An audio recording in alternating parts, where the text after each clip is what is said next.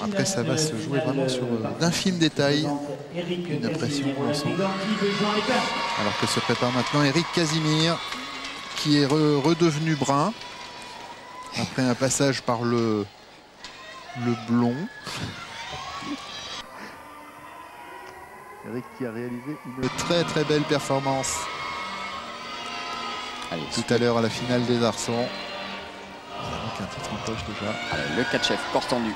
On s'est monté très très au-dessus de la barre. Passage sur un bras.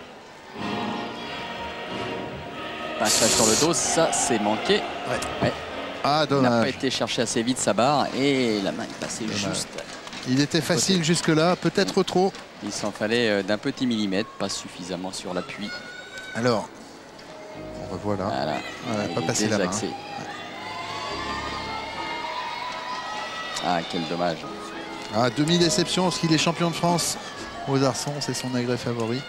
Profitons-en pendant qu'il euh, se repositionne pour vous dire que c'est Dimitri Karbalenko qui est champion de France au sol. Eric Casimir donc, que vous voyez là aux Arçons. Millau. Millau qui du coup, champion aux anneaux, va aussi gagner la barre fixe puisque eh Eric c'est le dernier concurrent, il a chuté donc il ne pourra pas l'inquiéter. Absolument.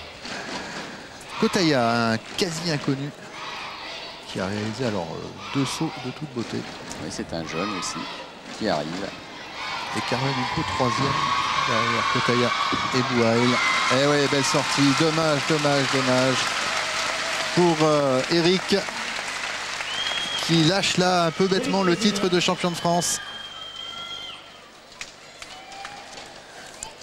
À cause de ce changement de prise 15 points Double arrière tendu avec double vrille, là aussi un grand pas, mais c'est un petit peu normal après avoir été déconcentré sur une chute.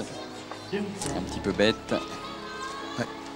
Mais en tout cas, il a un très beau mouvement. Il faudra le suivre de près